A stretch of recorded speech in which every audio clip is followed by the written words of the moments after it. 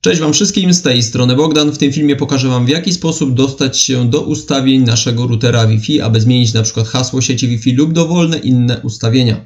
Co będzie nam potrzebne? Po pierwsze będzie nam potrzebny adres IP naszego routera, którego na pewno nie znacie w tym momencie, przeglądarka internetowa na przykład Chrome albo Firefox, co jeszcze będzie nam przydatne? Login i hasło do routera. Najczęściej będzie to admin admin, admin password, admin inna opcja hasła. Wszystko będzie w instrukcji obsługi naszego routera. Jeżeli macie pudełko jeszcze z routera, ewentualnie z modelu odczytujecie od spodu routera z naklejki i wchodzicie na stronę producenta, wyszukujecie ten model e, routera i tam będzie PDF z instrukcją. W instrukcji będzie napisane login, hasło, czyli na przykład admin, e, pasysy, 0rd, na przykład password. E, różne opcje mogą być. No dobra, ewentualnie możecie zadzwonić, zapytać kogoś, kto Wam instalował ten router, jakie hasło tam ustawił do, do routera. Tak więc e, poda Wam to hasło i wtedy będziecie je znać. Będziecie mogli sobie je wtedy zmienić. Ewentualnie router trzeba zrestartować do ustawień fabrycznych. Na routerze jest przycisk reset, przytrzymujemy najczęściej 15 sekund, e, uruchomi się ponownie i będzie tak jakby ze sklepu był, czyli zgodnie z instrukcją konfigurujemy sobie go.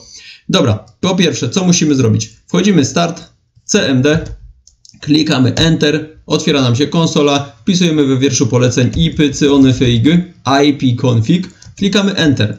Wyszukujemy sobie default gateway, czyli bramę domyślną naszej sieci, to będzie nasz adres routera. Zapisujemy sobie na kartce albo zaznaczamy myszką w ten sposób, trzymając lewy przycisk myszy, u góry na białym pasku prawym przyciskiem myszy, edytuj i tu kopiuj. Zamykamy okno, wchodzimy do przeglądarki internetowej. Zwykle u góry mamy takie adresy jak onet.pl i tym podobne, to tutaj właśnie musimy sobie to skasować, usunąć i tutaj wklejamy sobie prawym przyciskiem myszy wklej albo ręcznie wpisujemy adres IP naszego routera. Enter. W tym momencie dochodzimy do miejsca, w którym musimy zalogować się do naszego komputera. Najczęściej, tak jak mówię, będzie to admin admin, albo będziecie mieli w pamięci w przeglądarce internetowej, albo spoglądacie do instrukcji, albo spoglądacie na router, od spodu będzie pisało login, hasło, albo dzwonicie do osoby, która Wam instalowała ten router i prosicie, żeby Wam podał hasło do e, loginu admin, czyli do Waszego routera. Tu je wpiszecie. Admin admin login.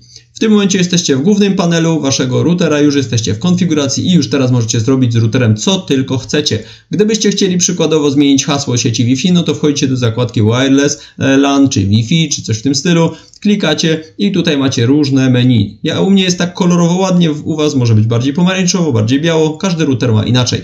I tu konfiguracja sieci Wi-Fi i zobaczcie co można pozmieniać. Można zmienić hasło do sieci Wi-Fi, wystarczy sobie tutaj wpisać co chcecie. Można sobie zmienić nazwę sieci Wi-Fi, czyli taka sieć jak jest widziana przez wasze smartfony, tablety, komputery, więc tu możecie zmienić sobie na cokolwiek chcecie i na przykład o test, na przykład hasło, dobrze, żeby miało przynajmniej 8 znaków, dobrze, żeby były duże, małe litery i, e, i cyfry, wtedy jest już takie silniejsze te hasło. I następnie zastosuj. Odczekujecie około 15-20 sekund, router potrzebuje tyle, aby e, zrestartować e, moduł Wi-Fi i ustawienia i wtedy już wasze wszystkie komputery, e, smart TV, laptopy, cokolwiek macie podłączone, o już gotowe, e, będą już, nie będą miały już połączenia. Wtedy będą musiały się jeszcze raz połączyć do sieci w, na przykład www.forumwiedzy.pl w tym wypadku i będzie trzeba im podać wszystkim te hasło. E, inaczej nie połączą się z siecią. Tak więc tu jest bardzo proste, zna, znacznie więcej ustawień możemy sobie tu jeszcze pozmieniać, klikając w zakładki główne, a po lewej stronie mamy bardziej już, już szczegółowe.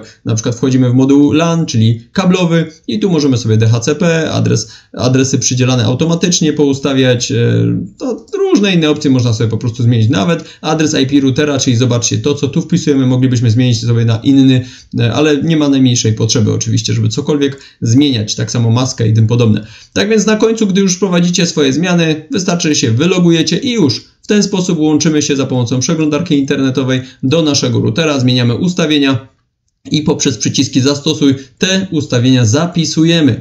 Jeżeli chcielibyśmy zmienić hasło do naszego routera, bo teraz podał nam na przykład informatyk, który to instalował takie jakieś trudne, to wchodzimy sobie tutaj w system, administracja i tutaj zmieniamy sobie na nowe hasło, możemy sobie już jakieś swoje tam ustawić według własnych preferencji, dwa razy podając je i na końcu zastosuj. Tylko pamiętajcie, żeby je sobie zapisać, najlepiej karteczkę na routerze od spodu sobie przykleić tak żebyście to hasło e, po prostu mieli. Z mojej strony to tyle, trzymajcie się, pozdrawiam.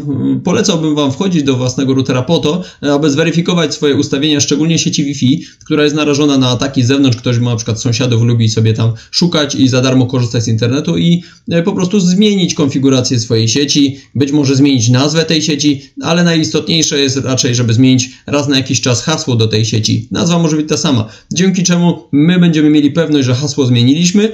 E, przykładowo jakieś trudne, ty, s, ty, 24, kropka, przecinek, no nie wiem, tak sobie wymyśliłem teraz, o takie. E, bardziej sensowne można sobie ustawić. Zastosuj i w tym momencie do waszej sieci e, nikt się nie dostanie, tylko wy, jeżeli oczywiście podacie te hasło do swoich urządzeń innych, no a reszta już się po prostu nie dostanie. Ta sieć będzie dla nich niedostępna. E, oczywiście dla hakerów zawsze jest jakaś tam opcja, że być może się tam dostaną, e, bo sieć Wi-Fi jakby nie było nie jest stuprocentowo bezpieczna, no ale myślę, że tutaj z tym problemów raczej nie macie. Z mojej strony to tyle, trzymajcie się, pozdrawiam, tak więc już wiecie jak dostać się do routera i zmieniać możecie tu naprawdę bardzo dużo różnych ustawień. Ja mam router 4G LTE w tym wypadku, czyli mobilny, wy będziecie prawdopodobnie mieli kablowy, nie ma to żadnego znaczenia. Z mojej strony to tyle, trzymajcie się, pozdrawiam, jeżeli wam się ten poradnik podobał, łapa w górę, komentujcie, trzymajcie się, pozdrawiam i bawcie się dobrze. Cześć! I pamiętajcie, na końcu trzeba się oczywiście wylogować.